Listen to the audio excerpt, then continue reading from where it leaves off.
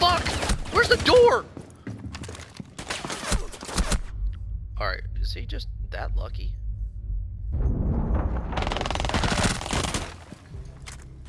Not lucky enough.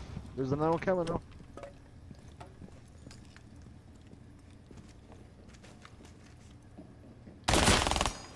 Ooh.